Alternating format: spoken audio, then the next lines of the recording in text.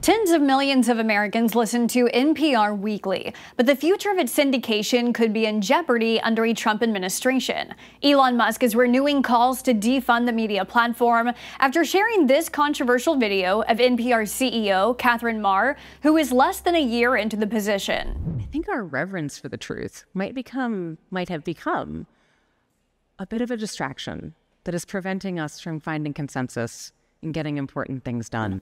Elon Musk captioned the video with this question Should your tax dollars really be paying for an organization run by people who think the truth is a distraction? It's not the first time this year there's been calls to defund NPR. The CEO was asked to testify on Capitol Hill over NPR's political biases, but Maher declined due to a scheduling conflict. Controversy hit the outlet earlier this year when veteran NPR editor Uri Berliner took aim at the outlet for what he called a blatant left wing bias, then blasted Maher as having divisive views and resigned after a 25 year tenure.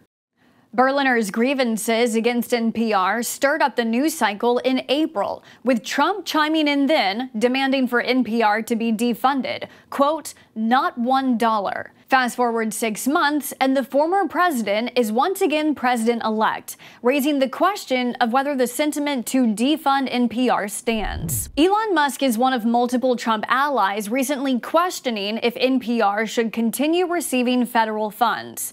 New York Congresswoman Elise Stefanik, who Trump is tapping for his second administration, also shared her grievances with the outlet this election cycle. Stefanik posted on X about an NPR reporter who Stefanik says misled voters in her district.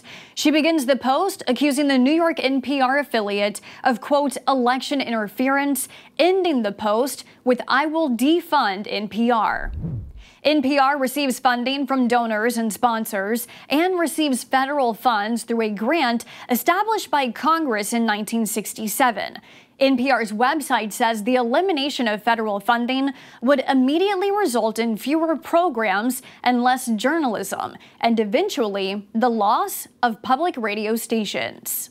Thanks for watching our news update. For more stories that matter to you, download the Straight Arrow News mobile app or visit us online at san.com.